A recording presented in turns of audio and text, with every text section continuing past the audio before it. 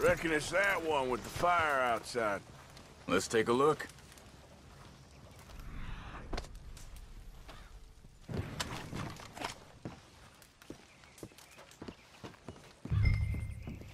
Someone...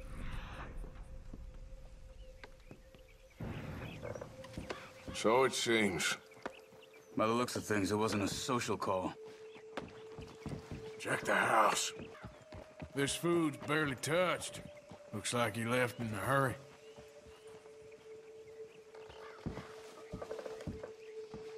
Bed's not made, so he must have been here recently.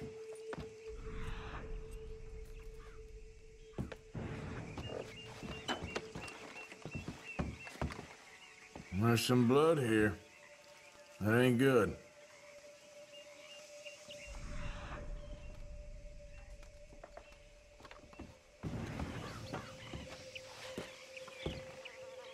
Big struggle.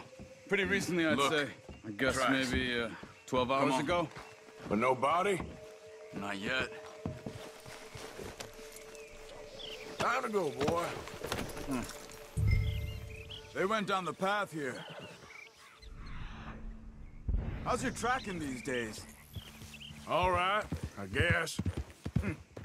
Well, lead the way then. Not the kind of place I'd expect to see Trelawny staying in.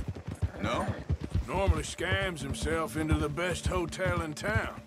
You know, when me and Javier went down with Trelawny to get Sean, after the bar fight, I swear, he talked the whole way and never actually said a damn thing. I thought you knew. That's his special talent. They could be 20 miles away by now.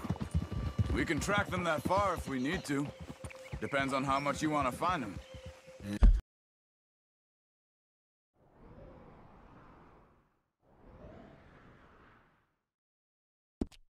Yeah. I still ain't sure about that. Hey, look.